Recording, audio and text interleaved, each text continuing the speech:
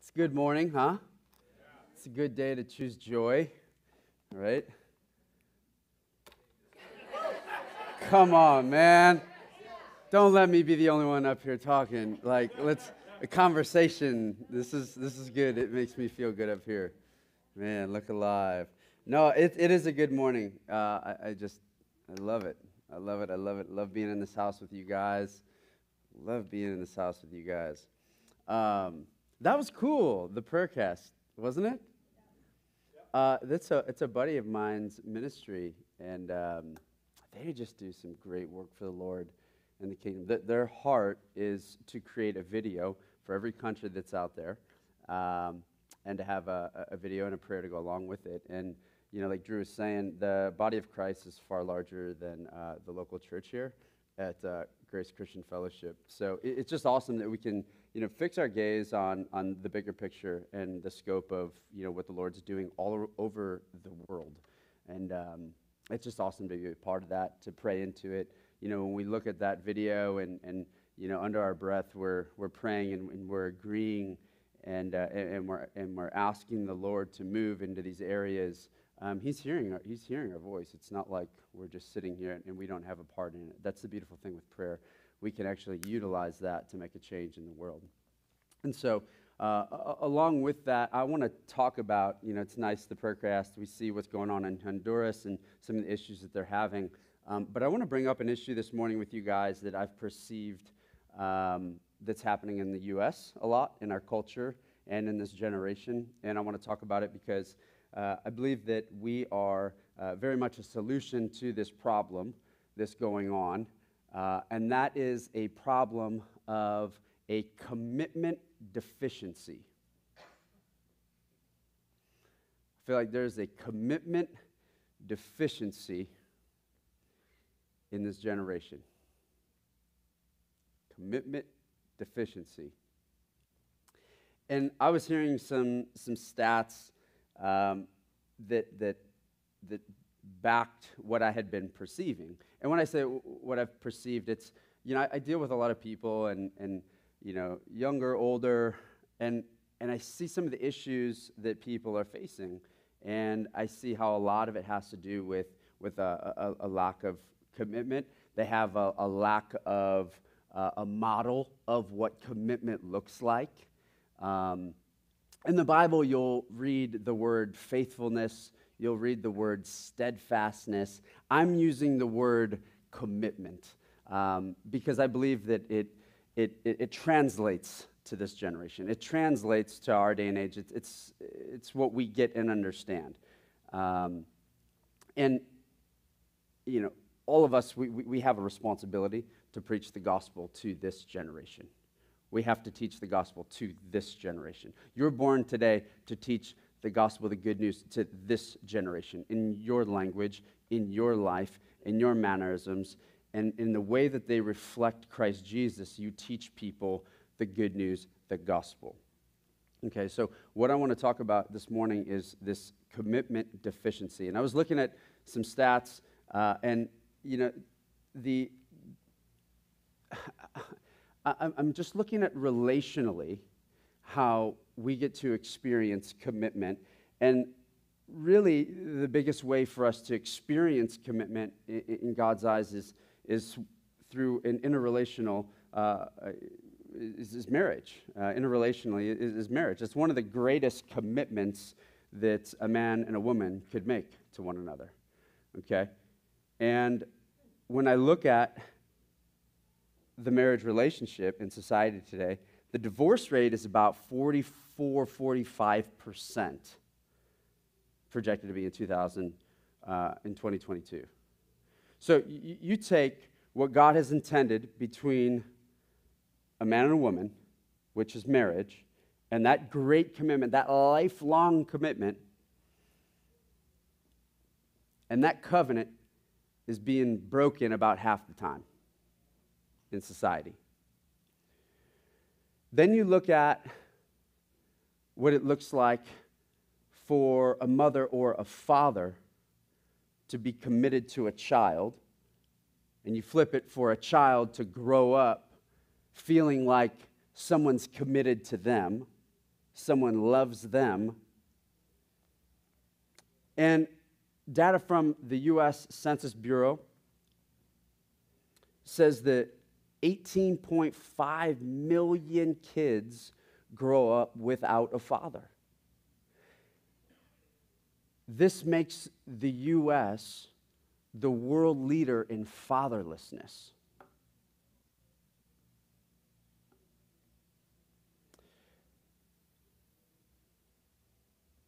Fifty-one percent of kids that are born are born out of wedlock. I'm sharing all this because we have people in this generation that struggle with commitment. And you know what I understand is I, I believe that they don't even realize that they're longing for an example of what someone being committed to them feels like, and they lack the example of what commitment looks like to another. Because if a child is raised in a home that will say about 50% of the time their parents are going to get divorced. And of those kids that are born in a home that have a mom and a dad, the divorce rate again is about, is about half. This is a problem, guys. This is a problem because we have these kids growing up and some of us are in this room that just haven't seen what it looks like to be a faithful man or a faithful woman. And I'm sharing this because part of the gospel, part of the good news, is that we have one who is so devoted to us. We have a God who is so committed to us and he's given us in Christ not only a solution of his commitment to mankind, that God wants to reconcile and had planned to reconcile the world back to himself. He loved mankind so much. We were made in his image. He loved us so much that he said, You know what? Because sin came into the world, you've died, you were far from me, but I've got a solution. I'm sending my Messiah, I'm sending the anointed one who's going to bring you back into my presence and essentially, I'm going to adopt you as sons and daughters. You're coming back into my home. I've had this plan. I'm so committed to you. And it's through Christ Jesus that we get to come back into the presence of God. We get to come back into a right relationship with Him. So, Jesus, it's interesting. Not only is Jesus Christ the, the display of God's and the solution to God's faithfulness and His commitment towards us. But it's in Christ that He is also the example of what it looks like for a man to be filled with the presence of God and to walk in commitment to something that's larger than himself, to be committed to his Father, to be obedient, even when it's not comfortable or convenient. I was thinking about, you know, you know you're committed to something when you're doing what doesn't feel good all the time. Like there's things that I do that just I just don't feel like doing them. But you know, it's because we've made a commitment. We're doing this. It was really hot this past week, and I'm coaching Brody's softball team or um, baseball team. This coach pitch, boy, these kids are just a hoot, man. Well, I've had so much. This is my first year coaching uh, Brody's Brody's baseball team, and it is so fun to see these kids. I, I swear, it is. Um, man, they're all over the place. It's it's one of the most intense things I've done, and I've done a lot. I kid you not. I get done with this game, and during the game, I'm like, you know, ready position, watch the batter, and you got the kids just kicking kicking up dirt like this, taking dirt, going around like this, just just throwing it up in the air. And I'm like, no, Lincoln, we're not doing that. You know, you know, James, watch the batter. You're going to get hit with the ball. You know, like the kid, in a, in a, there's two outs. You know, there's one out. You catch the ball. Where are you going to throw the ball? You're going to throw it to first. Man, after that game, I'm, I'm exhausted. Uh, but it, it, it's a joy. It's so much fun. But this week it was super hot, and and it, it's just honestly after a long day of work, that's the last thing I wanted to do. And I love this. I love this sport. I love coaching with them, and I love I love playing with. It. It's the last thing I wanted to do was to get out to that field and teach and coach and uh, parent in some cases uh, these kids. And uh, but we said, you know what? we said, we committed to this, Brody. And, and he was tired. Was a long day. I mean, he, he, was, he was playing, so he was zapped with energy come 6 o'clock. But we said, you know what? We've committed to this, and we're going to do it. We're going to do it. We don't feel like it right now, but we've, we've made a commitment to the team, and we made a commitment to make this happen, and so we're going to do it. And we get out there, and, and, and we do it. We have some fun. But, you know, the point is commitment it always starts with a choice you always wherever there's commitment involved it starts with a choice you know you make the choice and you say this is the road we're going down come hell or high water whether we feel like it or not this is what we're doing okay and and that's what we have in in christ. I mean the things that jesus went through our example the model of faithfulness. I could only imagine. I could only imagine. But we see, we see how Jesus operated, and we see the choices that he made, and we see how God honors when people choose him and stick to his plan, or when people are found faithful to his plan. Second Chronicles 16:9 says that the eyes of the Lord, I love this verse and I say it a lot, but the eyes of the Lord search to and fro the whole earth so that God would see whom he could give strong support to those whose hearts are. It, the word says blameless, but really it means fully committed to him.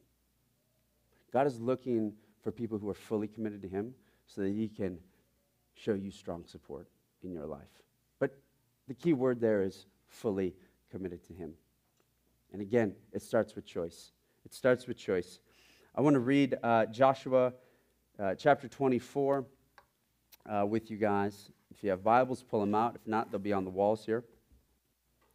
Joshua 24 14.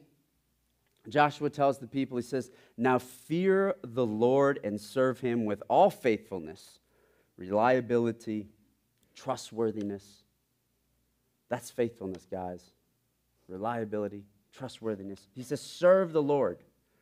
Throw away the gods your forefathers worship beyond the river in Egypt, and serve the Lord. But if serving the Lord seems undesirable to you, then choose for yourselves this day whom you will serve. Whether the gods your forefathers served beyond the river or the gods of the Amorites in whose land you are living. But as for me and my household, we will serve the Lord. Joshua's drawing a line in the sand and declaring for me and my house, this is the decision that I'm making. And we will serve the Lord. Then the people answered, Far be it from us for us to forsake the Lord and to serve other gods. It was the Lord our God Himself who brought us and our, uh, and our fathers up out of Egypt from that land of slavery and, perform, and performed those great signs before our eyes. He protected us on our entire journey and among all the nations through which we traveled. And the Lord drove out before us all the nations, including the Amorites who lived in the land. We too will serve the Lord because he is our God. Joshua said to the people, You're not able to serve the Lord. He is a holy God, he is a jealous God. He will not forgive your rebellion and your sins. If you forsake the Lord and serve foreign gods, he will turn and bring disaster on you and make an end of you after he has been good to you. But the Lord, uh, but the people said to Joshua, No, we will serve the Lord. Then Joshua said, You are witnesses against yourself that you have chosen to serve the Lord. Yes, we are witnesses, they replied. Now then, Joshua said, Throw away the foreign gods that are among you and yield your hearts to the Lord the God of Israel. And the people said to Joshua, We will serve the Lord our God and obey him. Joshua tells the people In verse 23, he says, Throw away the foreign gods that are among you and yield your hearts to the Lord. Throw away the foreign gods among you. We were talking about this in, in our, our meeting this morning. About we, we don't have these foreign gods that we've set up that we devote ourselves to, right? Like they had. We have other things, these they're called other desires that rise up in us, things that we want to put our attention to, and that draws us away from having a fully committed heart to the Lord.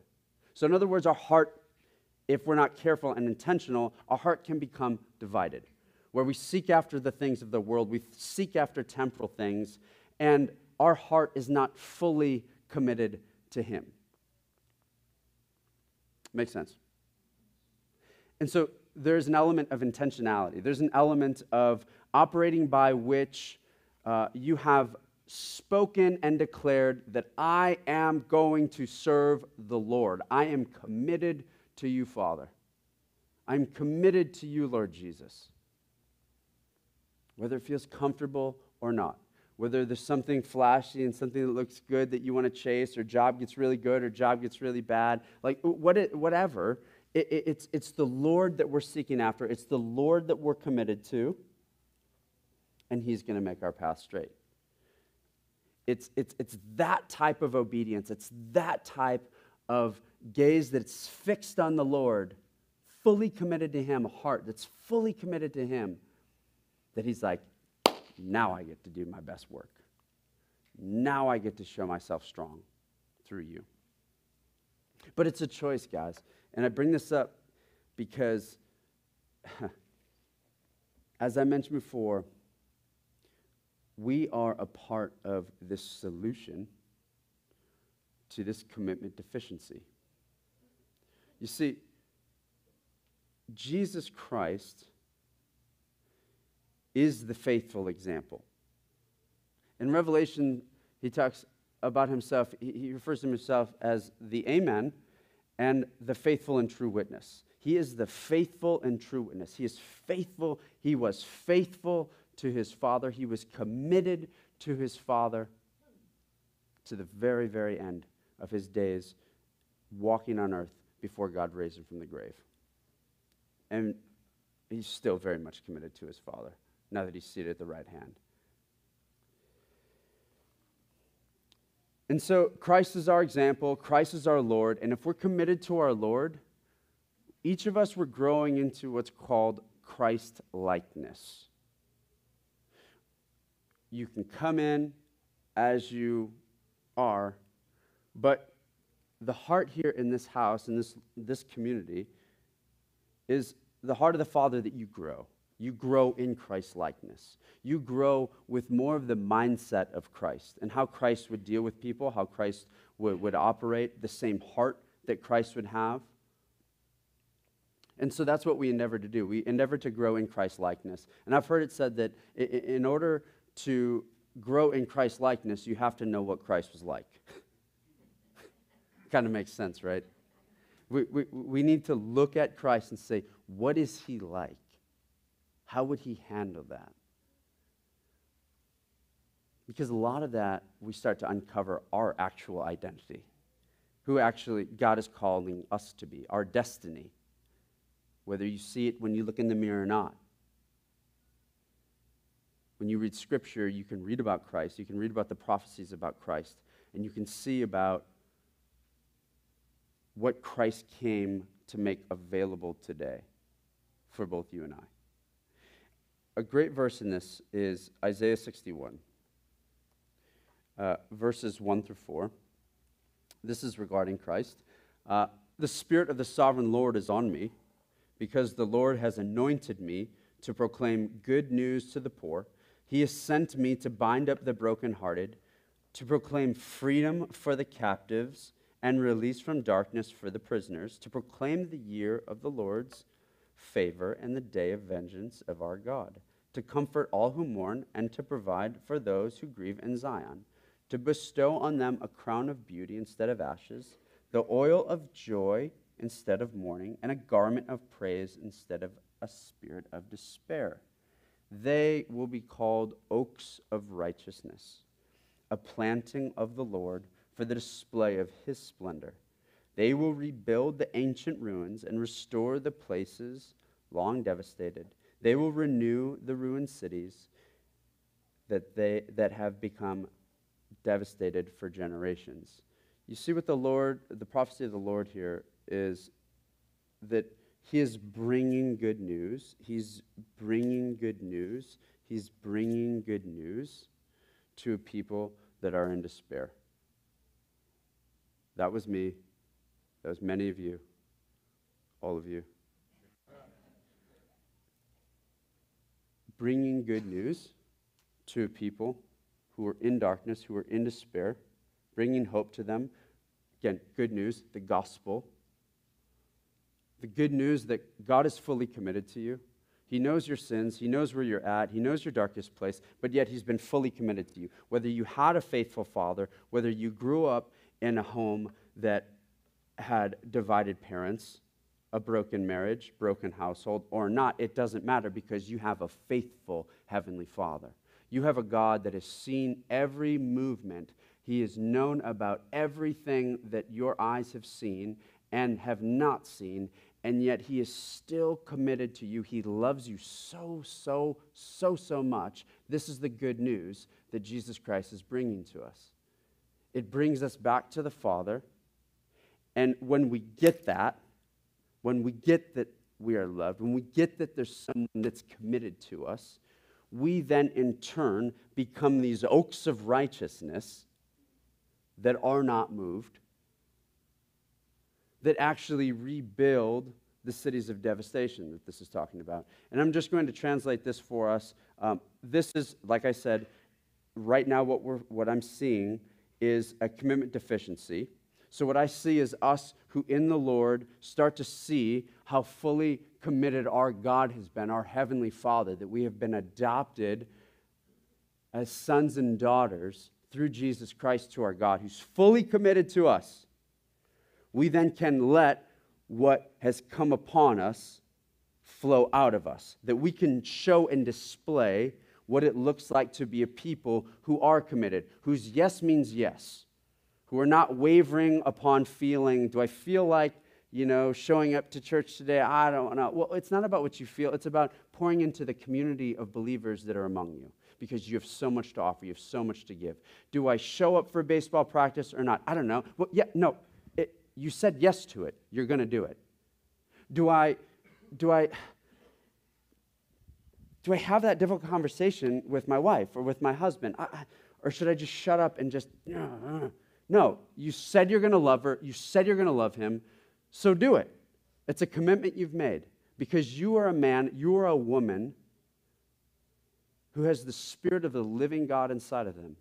And that spirit is a spirit of commitment it's a spirit of faithfulness. That's who you were made to be. That's who you are, and that's how it's like us to act. That's who you are, and that's how it's like us to act. I'm committed to that. I'm going to see it through.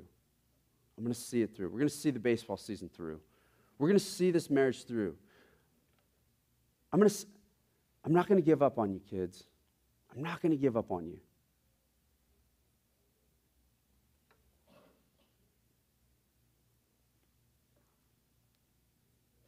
Psalm 89 1, it says, I will sing the steadfast love of the Lord forever with my mouth, and I will make known your faithfulness to all generations.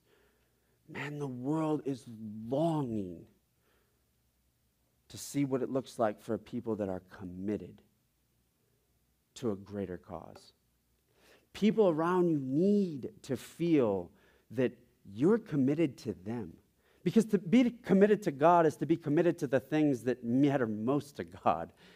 And He is in the people business. And He, ah, these young kids around us just need to feel that someone's in, standing in their corner still. when no one's loved them, when they haven't had a mother or a father to fight for them.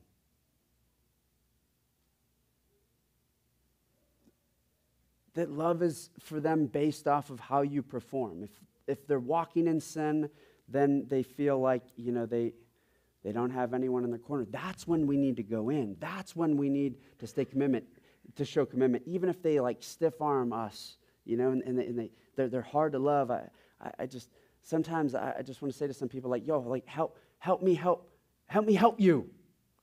Like, like, don't run from this love. Don't run from my support because I want to help you and I can help you. Some people just run from it, but they want somebody who, like the Lord, just, just continues to chase after. Just say, Come on, I'm here for you. I'm in your corner. I'm for you. It doesn't matter what you did, I'm still for you. I'm still for you. And that's the voice of a loving Heavenly Father. It says, I'm still for you. And we know that in this room, but people outside this room don't understand that because they haven't had, I'm going to assume that they haven't had an example of what it looks like for someone to be committed to them on their highs and their lows, to just be for them. See, that's what we get to do in the image of Jesus Christ. That's what we get to do in his image that we now, the ones who were in despair, who've received the good news, we have become those oaks of righteousness. You know, an oak of righteousness is not easily moved. Uh, an oak tree is not pushed over by a wind. It, that thing is strong, it's steadfast, it doesn't waver, it's strong, it's still. And that's what we get to, we, we have become that. And it's my desire that we can help develop that in the culture, in the generation that we have been born into. That we can help develop with the Lord, taking people who've been in despair and helping them grow into an oak of righteousness, where they can see and feel the deep love and commitment from the Father. And we have the privilege to be conduits of that to allow what has flowed into us to flow out of us. That same love, that unconditional love for people. When we're doing things that we necessarily don't feel like doing, but we know it's right. And we know that we've, we've committed ourselves to it because the Lord's committed to it. So I want to pray right now. I want to pray uh, out of this verse in uh, 2 Thessalonians 3 5, it says, May the Lord direct your hearts to the love of God and the steadfastness of Christ. And I just pray, Father, in Jesus' name, that you would direct the hearts, the hearers right now, Father, the hearts of the hearers to the steadfastness of Christ, that they would emulate the type of obedience, the type of immovable faithfulness that Christ displayed, to you and then in turn displays it to us. That he is just so fully committed to us. So fully committed to us. That Christ made that choice to obey you and to love you, Father. And I pray that, Father, in his name, our hearts would be directed to that type of faithfulness, to have that type of commitment to you, Father.